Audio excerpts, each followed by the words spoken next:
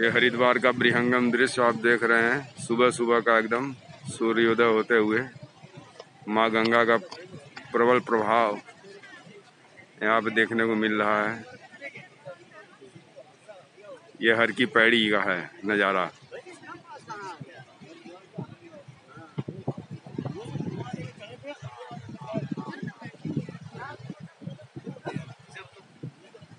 हम लोग इसमें विष्णु घाट पे खड़े हैं।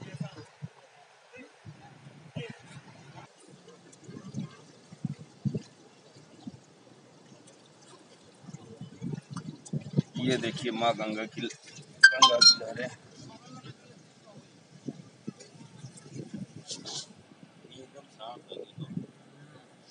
एकदम निर्मल और शुद्ध जल एकदम शीशे की तरह पारदर्शित। हर की पड़ी का ब्रिज, जिस पे से हम लोग जाते हुए हर की पहाड़ी की तरफ़। ये देखिए। माँ गंगा का बहाव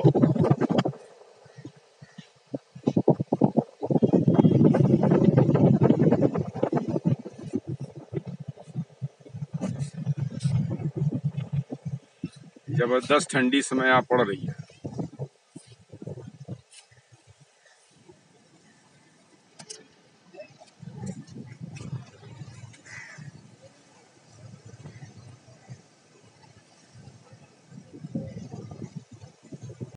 और ये सामने आप देख रहे हैं पहाड़ के ऊपर, माँ नैना देवी का मंदिर। जहाँ जाने के लिए आदमी रोपवे से भी जाता है, जो ये साइड से रोपवे जा रहा है। लोग आ जा रहे हैं। ये देखिए ज़बरदस्त नज़ारा है यहाँ का, हरिद्वार का। अब माँ गंगा हाँ वीडियो सब बनाए, भेजेंगे, देखेंगे, खुश हो जाएँगे, एकदम गजब जगह है।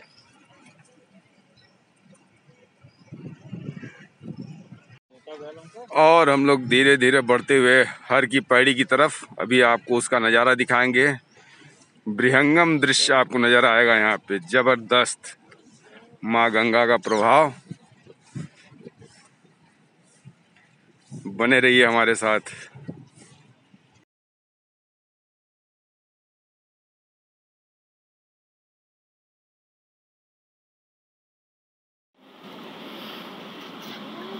माँ गंगा के घाट के एकदम किनारे स्थित ये शिवलिंग, जो अद्भुत देखने में लग रहा है। माँ जानवी के तट पे एकदम बाबा भोलेनाथ का यह शिवलिंग, साथ में नंदी जी महाराज।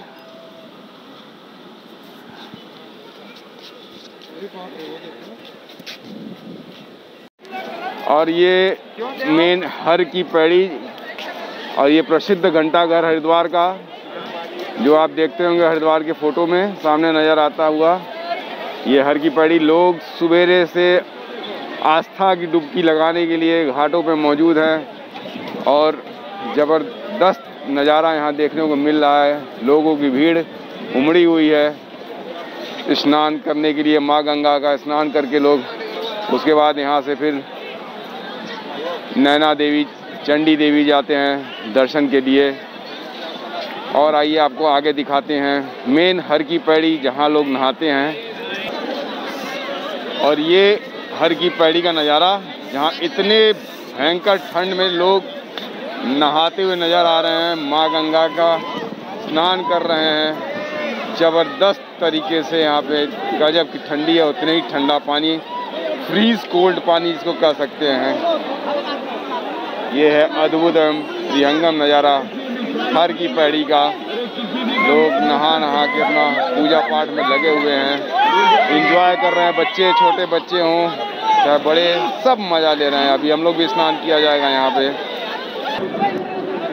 और यहाँ ये देखिए, दान पुण्य की नगरी है और माँ गंगा के पानी से आटा गूंथते हुए जो मछलियों को चारा खिलाने के लिए बना रहे हैं और ये मछलियों को चारा खिलाएँगे, ये भी एक बहुत बड़ा पुण्य का कार्य है, वो भी इस जैसे जगह पे।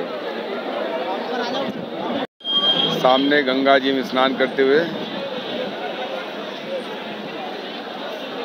दोनों